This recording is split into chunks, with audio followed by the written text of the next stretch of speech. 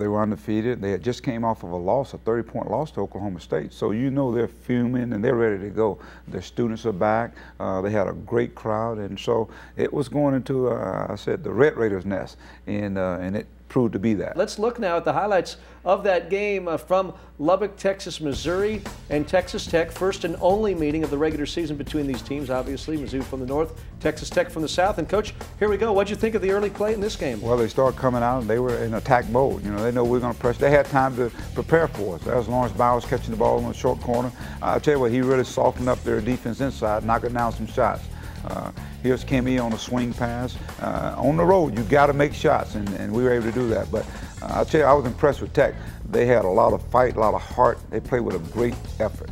Yeah, you know, hadn't seen them much this season. They have a Roberson back their guard as their most heralded player, but they've got some new additions around him, and they're going to win some games in Lubbock. There's no doubt in this league. Well, when you got Singletary and you got Roberson, those two guys, you know they can play. Here's a freshman, Mike Dixon, his first true road game in conference play. He knocks down the shot.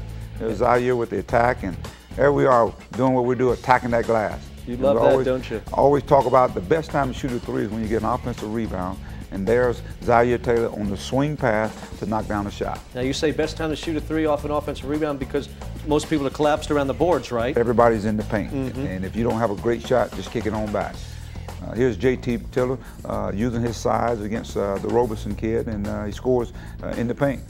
David Tairu answers for Texas Tech. It's a little back and forth. That's how it's going to be in this league. 40-39 at this point. Uh, the Red Raiders with a slight advantage. Well, uh, here's Kimmy English. We matching there. Anytime they make something, it seems like we're matching on the other end.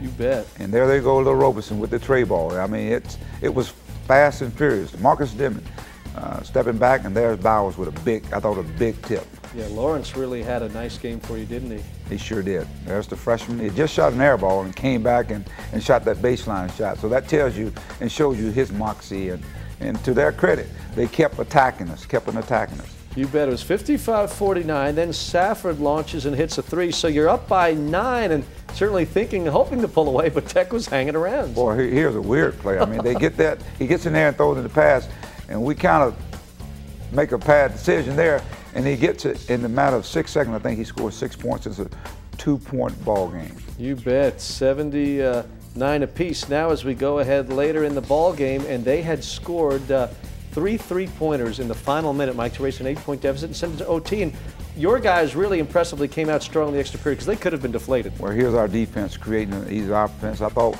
you know, we came out and scored the first two plays in overtime, and, and here's Roberson hitting a big shot mm. with a guy in his face and cut it to one.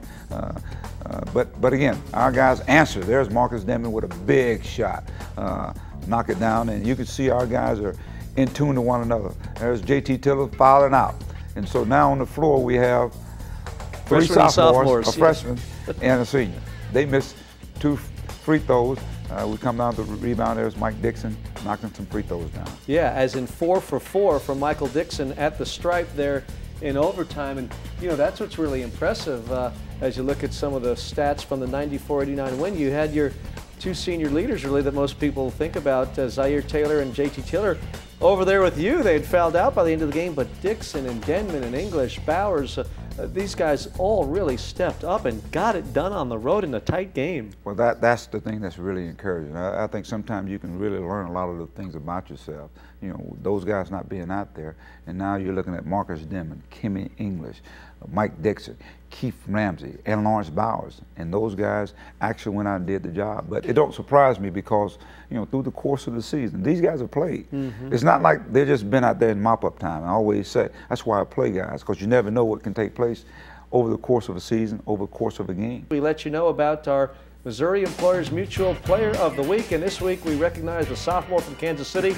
Marcus Denmon. He really had a pair of big games, scoring 14 points in the final six minutes of the Tiger win over Kansas State. Then at Texas Tech, Denmon scored a career high 20 and grabbed six rebounds as well. MEM, the state's number one provider of workers' compensation insurance.